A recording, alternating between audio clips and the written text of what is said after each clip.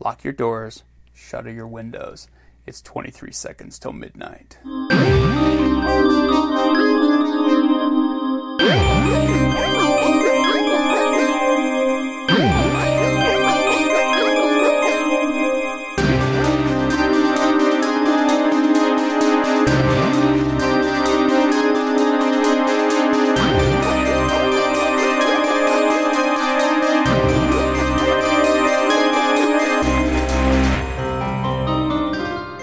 Curiosities. It's Chris with Midnight Cryptid, and this is our first Fireside Tales video.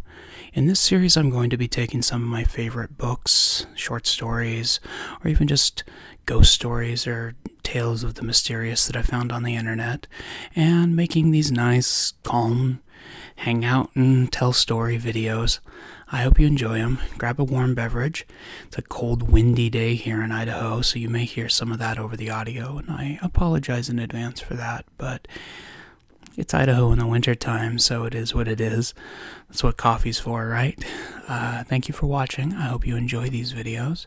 If there's any of these kind of stories you'd like to hear me tell on these, let me know. I'd love to find some new authors that I'm not aware of.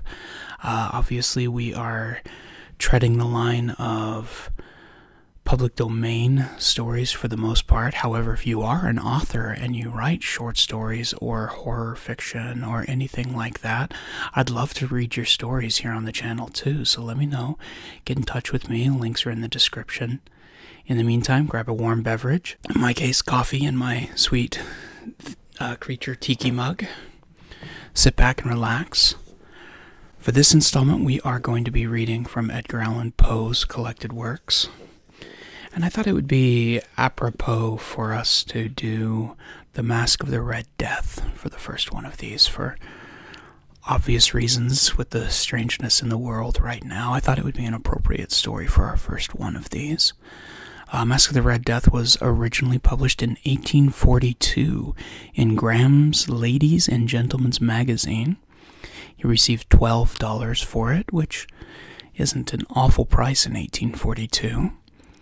Um, this was most famously made into a movie by Roger Corman in 64, starring Vincent Price, which is excellent and definitely worth checking out if you enjoy it. So now sit back, relax, and enjoy the story. This is Masque of the Red Death by Edgar Allan Poe.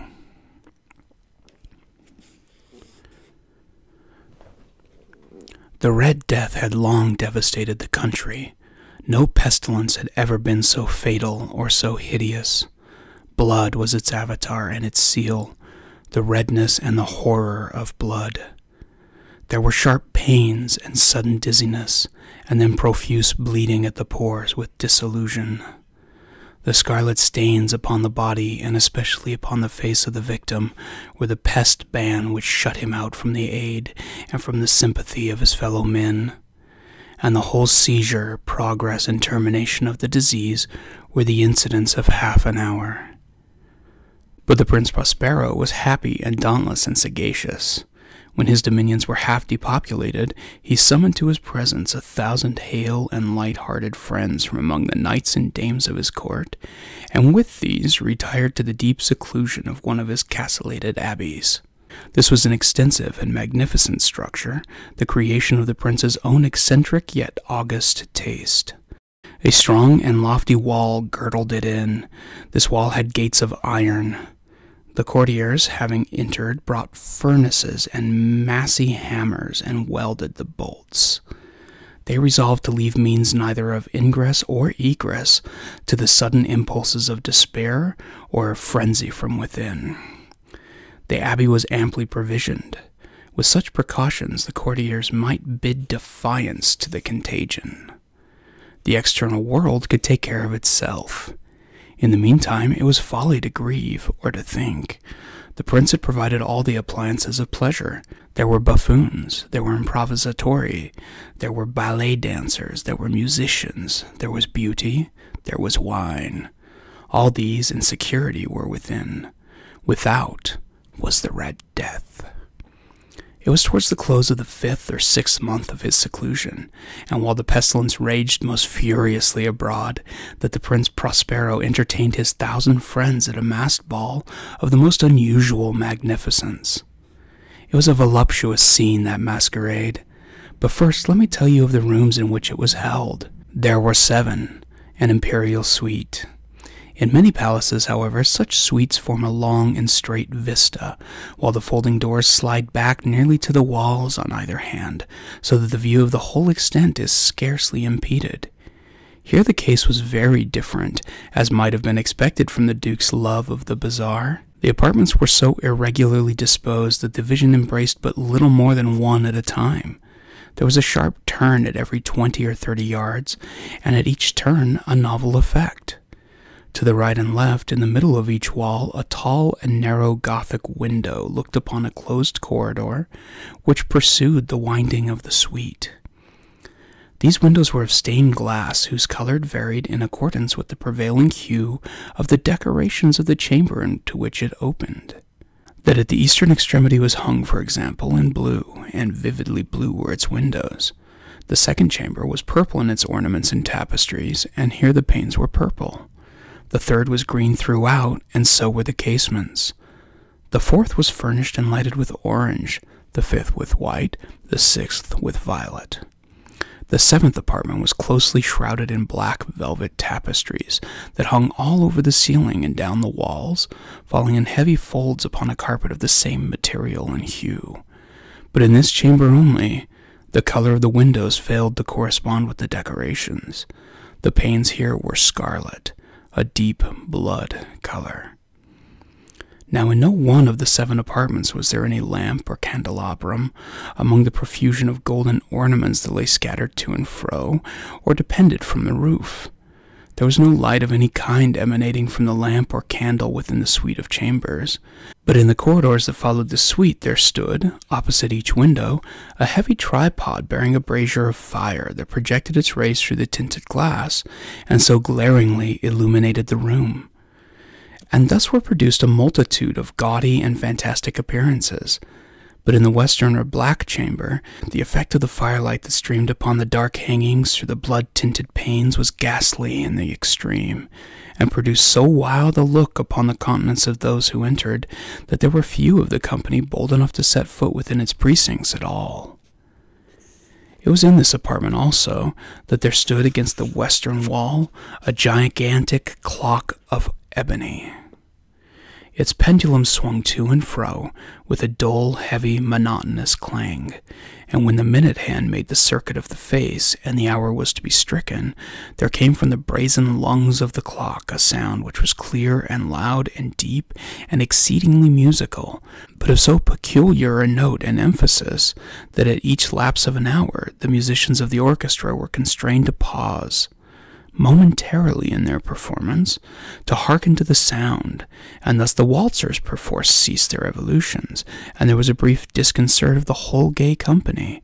And while the chimes of the clock yet rang, it was observed that the giddiest grew pale, and the more aged and sedate passed their hands over their brows as if in confused reverie or meditation.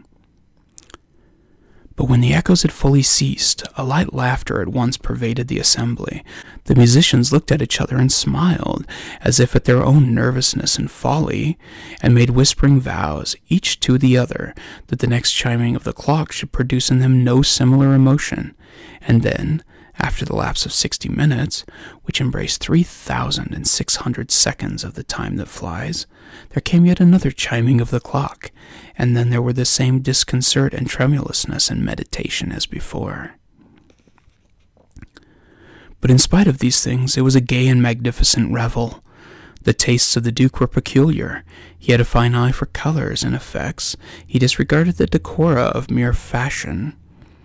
His plans were bold and fiery, and his conceptions glowed with barbaric luster. There are some who would have thought him mad. His followers felt that he was not. It was necessary to hear and see and touch him to be sure that he was not. He had directed, in great part, the movable embellishments of the seven chambers upon occasion of this great fete, and it was his own guiding taste which had given character to the masqueraders. Be sure they were grotesque. There were much glare and glitter and piquancy and phantasm, much of what had since seen in Hernani. There were arabesque figures with unsuited limbs and appointments. There were delirious fancies such as the madman fashions. There were much of the beautiful, much of the wanton, much of the bizarre, something of the terrible, and not a little of that which might have excited disgust. To and fro in the seven chambers there stalked, in fact, a multitude of dreams, and these, the dreams, writhed in and about, taking cue from the rooms, and causing the wild music of the orchestra to seem as the echo of their steps. And anon there strikes the ebony clock which stands in the hall of the velvet, and then for a moment all is still, and all is silent save the voice of the clock. The dreams are stiff frozen as they stand, but the echoes of the chime die away. They have endured but an instant, and a light, half subdued laughter floats after them as they depart.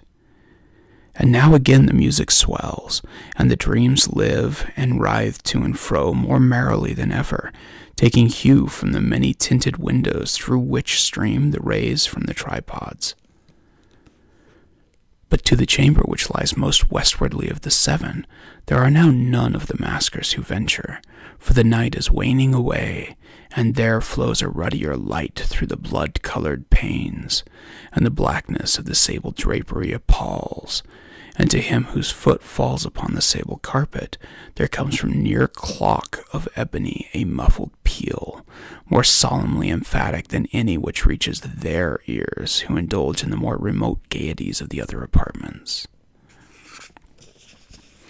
But these other apartments were densely crowded, and in them beat feverishly the heart of life, and the revel went whirlingly on, until at length there commenced the sound of midnight upon the clock. And then the music ceased, as I have told, and the evolutions of the waltzers were quieted, and there was an uneasy cessation of all things as before. But now there were twelve strokes to be sounded by the bell of the clock, and thus it happened, perhaps, that more of thought crept, with more of time, into the meditations of the thoughtful among those who revelled. And thus, too, it happened, perhaps, that before the last echoes of the last chime had utterly sunk into silence, there were many individuals in the crowd who had found leisure to become aware of the presence of a masked figure which had arrested the attention of no single individual before. And the rumor of this new presence having spread itself whisperingly around, there arose at length from the whole company a buzz or murmur expressive of disapprobation and surprise, then, finally, of terror of horror, and of disgust. In an assembly of phantasms such as I have painted, it may well be supposed that no ordinary appearance could have excited such sensation. In truth, the masquerade license of the night was nearly unlimited, but the figure in question had out Heroded Herod, and gone beyond the bounds of even the prince's indefinite decorum. There are chords in the hearts of the most reckless which cannot be touched without emotion. Even with the utterly lost, to whom life and death are equally jests, there are matters of which no jest can be made. The whole company, indeed, seemed now deeply to feel that in the costume and bearing of the stranger neither wit nor propriety existed. The figure was tall and gaunt, and shrouded from head to foot in the habiliments of the grave. The mask which concealed the visage was made so nearly to resemble the countenance of a stiffened corpse that the closest scrutiny must have had difficulty in detecting the cheat. And yet all of this might have been endured, if not approved, by the mad revellers around. But the mummer had gone so far to assume the type of the Red Death. His vesture was dabbled in blood, and his broad brow, with all the features of the face, was besprinkled with the scarlet horror. When the eyes of Prince Prospero fell upon this spectral image, which, with a slow and solemn movement, as if more fully to sustain its role, stalked to and fro among the waltzers, he was seen to be convulsed in the first moment with a strong shudder, either of terror or distaste, but in the next his brow reddened with rage. Who dares, he demanded hoarsely of the courtiers who stood near him, who dares insult us with this blasphemous mockery? Seize him and unmask him, that we may know whom we have to hang at sunrise from the battlements. It was in the eastern or blue chamber in which stood the Prince Prospero as he uttered these words. They rang throughout the seven rooms loudly and clearly, for the prince was a bold and robust man, and the music had become hushed at the waving of his hand.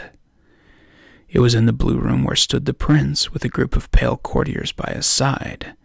At first, as he spoke, there was slight rushing movement of this group in the direction of the intruder, who, at the moment, was also near at hand, and now, with deliberate and stately step, made closer approach to the speaker.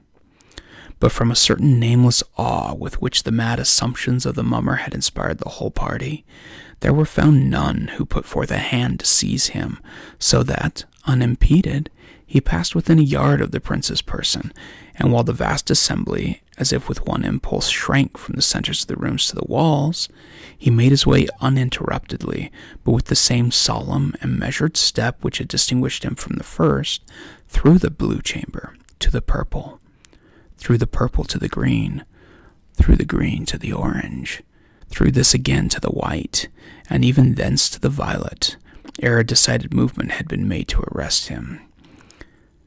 It was then, however, that Prince Prospero, maddening with rage and the shame of his own momentary cowardice, rushed hurriedly through the six chambers, while none followed him on account of a deadly terror that had seized upon all. He bore aloft a drawn dagger, and had approached in rapt impetuosity to within three or four feet of the retreating figure, when the latter, having attained the extremity of the velvet apartment, turned suddenly and confronted his pursuer. There was a sharp cry, and the dagger dropped gleaming upon the sable carpet, upon which, instantly afterwards, fell prostrate in death the Prince Prospero. Then, summoning the wild courage of despair, a throng of the revelers at once threw themselves into the black apartment, and, seizing the mummer, whose tall figure stood erect and motionless within the shadow of the ebony clock, gasped in unutterable horror at finding the grave cerements and corpse like mask which they handled with so violent a rudeness, untenanted by any tangible form. And now was acknowledged the presence of the Red Death. He had come like a thief in the night, and one by one dropped the revelers in the blood bedewed halls of their revel, and died each in the despairing posture of his fall. And the life of the ebony clock went out with that last of the gay, and the flames of the tripods expired, and darkness and decay and the Red Death held illimitable dominion over all. That was The Masque of the Red Death by Edgar Allan Poe. I hope you enjoyed it. If you did, I'd appreciate a like. You can always subscribe and hit the bell notification to find out when we have new videos uploaded. I appreciate your patience in our staggered releases here lately. It's been a weird couple of months, but as the winter approaches, I should have more time for recording and we'll hopefully have a more steady schedule. Again, if there's something you would like us to read here on Midnight Cryptid, or if there's some weird video of a creature in the woods you think we should take a look at, make sure to give us a holler. There's links in our description below.